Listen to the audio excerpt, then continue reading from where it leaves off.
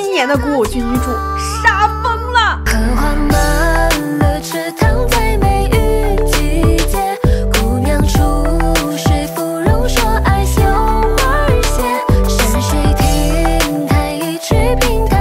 虽然二零二二的好剧已经离我们远去，但是没有关系，因为在今年又将有一大波古偶剧女主们歘歘向我们袭来。那咱废话不多说，长夜烬明。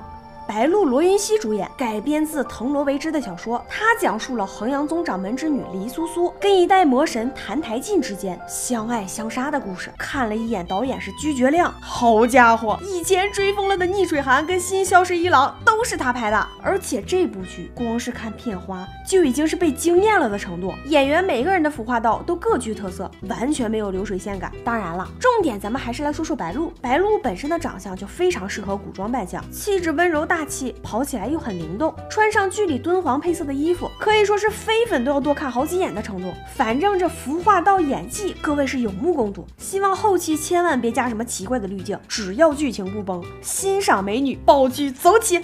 宁安如梦，白鹿两部国偶待播，今年算是赢麻了。朱砂玉笔，定然生死，娘娘。不怕吗？沈宁想要做这世上最尊贵的女人，只有先生给得起。由白鹿、张凌赫主演，改编自小说《昆宁》，讲述了从小爹不亲娘不爱的权臣之女江雪宁，自寻出路后，决定做海王找备胎。当她终于费尽心机当上皇后后，却因为国家变故被逼自杀。重生后，她的人生处处开挂。虽然还是没能和白月光在一起，但却意外看到了男主的真心。最后两人达成治愈爱情的故事，光是这重生的剧情设定就已经让我有搬起板凳等半年的冲动了。更别提女主是心不纯善的黑莲花，四个男人都爱她。虽说前段时间两人被拍了，属于剧粉狂欢、维稳哭晕的节奏，但是目前感觉人设、剧情跟主演们还挺贴，尤其是预告里白鹿的眼神，简直杀疯了。具体口碑咋样，咱们就拭目以待啦。《乐传》，迪丽热巴、龚俊主演，改编自星灵的小说《帝皇书》，两个主演颜值在线，热度高，在众多待播剧里也属于未播先火的那类。而且复仇和女主人设，在我看来也还挺贴迪丽热巴整体形象的。但是无奈预告实在是太拉，譬如万年不变的龙须刘海，再譬如把男女主颜值降一半的死亡磨皮大滤镜。我叫任安乐，我是来当太子妃的。你翱翔九天之翅，不该折在我的手里。你我八万将士。还有灭我九族的人，正是韩家。他，是韩烨。我曾经对一名叫做任安乐的女子动过心，但我这一世都会护着弟子园。杨紫、张晚意、邓为主演，谭健次特别出演。是的，没错，杨紫和这三个男人都有感情纠葛，有相濡以沫的兄妹之情，有相伴相守的亲物之情，还有相爱相杀的知音之情。但是总的来说吧，对杨紫的演技我喜欢。七时吉祥，你说我们的缘分从三万年前便结下了，还是因为情节？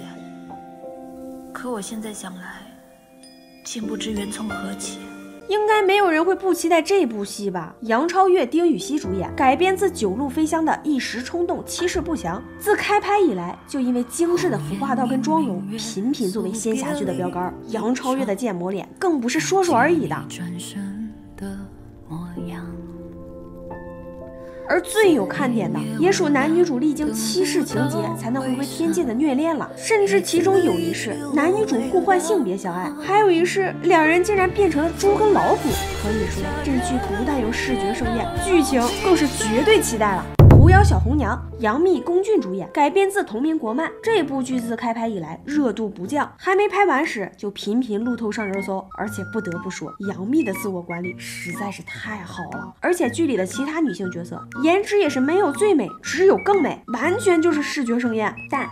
有褒的同时就会有贬，因为其实，在原著粉看来，选角妆造跟原著没有一毛钱关系。至于后续开播口碑怎么样，咱们就拭目以待啦。同为八五花主演的，还有刘诗诗的《一念关山》，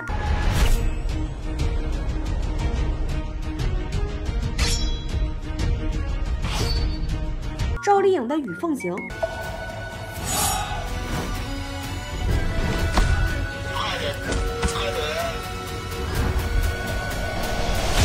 另外，想看捞宇文玥的，可千万别错过这部剧啊！好啦，时间有限，今年的待播剧和女主们就盘到这儿了。你们都 pick 哪几位？评论区留言吧，咱们下期再见，拜拜啦！